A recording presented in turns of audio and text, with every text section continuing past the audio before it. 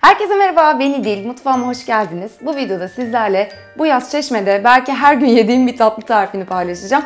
Birlikte sakızlı muhallebi yapıyoruz. Sakızlı muhallebiyi ben çok seviyorum. Çünkü çok hafif oluyor. Onu böyle çok güzel süslüyorum. Birazdan sizlerle paylaşacağım. Hem misafire çıkartıyorum hem akşamüstü 5 çayında kendim yiyorum. Yapmayı çok sevdiğim tatlılardan bir tanesi. Yapması da son derece kolay. İlk önce malzemeleri göz atıyoruz. Ondan sonra da yapmaya başlayacağız. 1 litre süt, 1 su bardağı un, bir su bardağından iki parmak az olacak şekilde şeker, bir çay kaşığı kadar damla sakızı, bir çay kaşığı kadar tereyağı, Biraz vanilya eklemeyi seviyorum ben damla sakızlı muhallebiye ama isterseniz eklemek zorunda değilsiniz. En son süslemek için de biraz çıtır kadayıf ve toz antep fıstığı ile birlikte süslüyorum. Ama isterseniz farklı şekilde de süsleyebilirsiniz. Yapması gerçekten çok kolay. Hemen başlayalım. Şöyle sakız, tereyağı, kadayıf ve fıstığı bir köşeye aldım. Onları daha sonra kullanacağım. Önüme bir tane tencere alıyorum. İçine sütü ekliyorum. Ben tam yağlı süt kullanıyorum. Bence böyle muhallebilerde tam yağlı sütle yapınca daha lezzetli oluyor. Ama kilonuza dikkat ediyorsanız o zaman diyet süt kullanabilirsiniz. Yine şeker yerine isterseniz aynı miktarda pekmez kullanabilirsiniz. Şekeri ekledim. Şimdi unu ekleyeceğim. Ama unu eleyerek ekliyorum.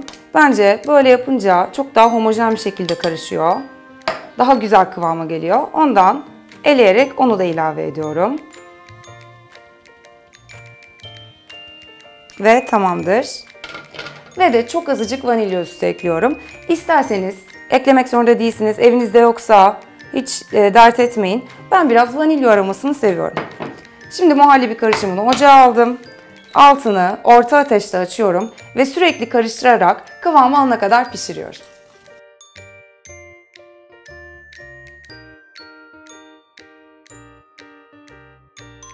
Muhallebiyi yaklaşık 10 dakikadır pişiriyorum. Güzel bir kıvama geldi. Şimdi onu ateşten aldım.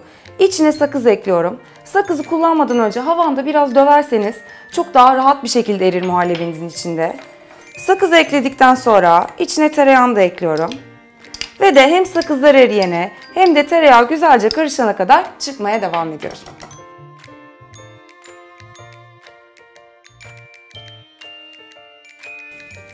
Sakız güzelce eridikten sonra damla sakızlı muhallebimiz hazır. Aslında böyle bile kaselere koyup soğuduktan sonra servis edip yiyebilirsiniz.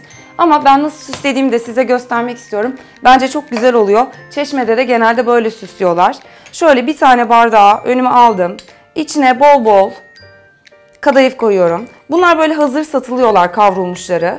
Ama isterseniz e, evde kadayıfı da tereyağı, şeker, biraz da tarçınla birlikte kavurabilirsiniz.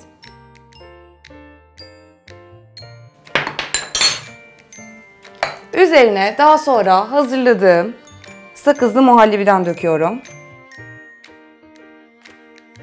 En sonda üzerine biraz fıstıkla birlikte kapatıyorum. Üçünün birbirine lezzet olarak uyumu harika oluyor. Bence şu anda görüntü olarak da çok güzel gözüküyor.